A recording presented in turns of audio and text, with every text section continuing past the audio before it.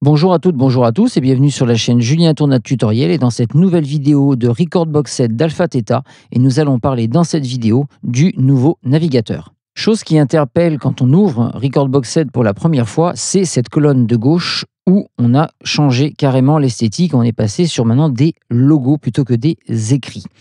L'apparition d'icônes plus lisibles sur le côté permet d'accéder directement à des morceaux de notre collection et d'autres choses. Et en plus de ça, nous pouvons modifier et personnaliser le nombre d'icônes qui sont affichées dans le navigateur. De base, nous avons ici l'onglet Collection qui permet d'avoir tous les morceaux que vous avez dans votre collection. Ensuite, nous avons ici le Tree View liste de lecture. Le Tree View est une arborescence en forme d'arbre, c'est-à-dire vous aurez un dossier en haut, en bas, en haut, en bas, comme le faisait sur la version précédente. Le Column View, qui est débloqué ici avec le cadenas, et encore une fois, ce cadenas sert à avoir des fonctionnalités si vous branchez un système Alpha Theta ou Pioneer DJ à votre machine, ou si vous l'avez enregistré directement dans la machine, ou encore si vous avez un abonnement.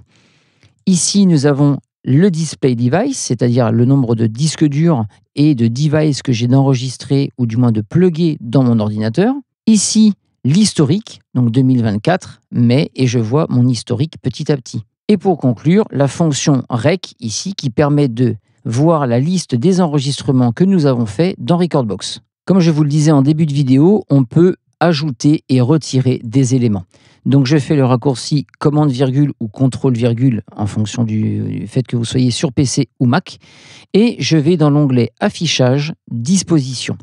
Ici, j'ai la possibilité sans aucun abonnement d'activer les morceaux associés iTunes, Bitport, la bibliothèque Recordbog XML, le bouton Search mobile, la liste de banques de repères, InFlight, Track Suggestion et Explorateur.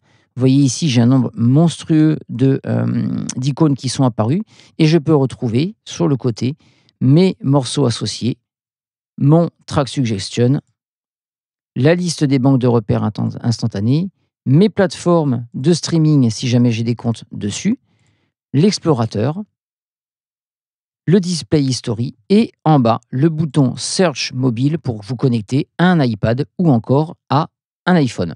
Petit bonus sur ce navigateur, je vais vous montrer quelque chose qui nous permettra d'avoir deux fenêtres de navigation en même temps. Ici, je suis sur ma collection et imaginons que je mets par exemple, je ne sais pas moi, une sélection de Daft Punk par exemple. Et que j'ai envie d'avoir une deuxième fenêtre avec euh, Eric Prydz. Et eh bien ici, je clique là, j'ai un deuxième bureau qui s'ouvre et ici, je tape j'ai ainsi accès à l'intégralité des morceaux qui sont renommés dans mon disque dur, ou du moins dans ma collection, et ce qui m'évite d'aller d'une bibliothèque à une autre, d'une playlist à une autre. Vous savez maintenant tout ce qu'il faut savoir sur ce navigateur. À très bientôt pour de nouvelles vidéos. Salut